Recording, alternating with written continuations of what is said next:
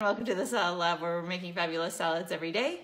Today we're making Nobu's sashimi salad with Matsuhisa dressing.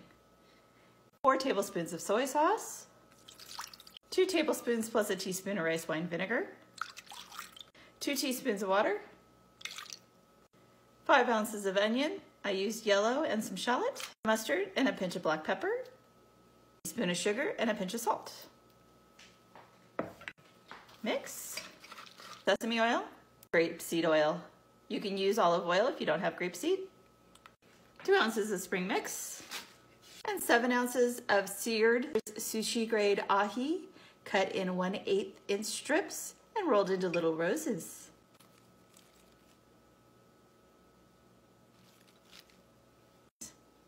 And I'm having it with the Jordan Chardonnay. Enjoy.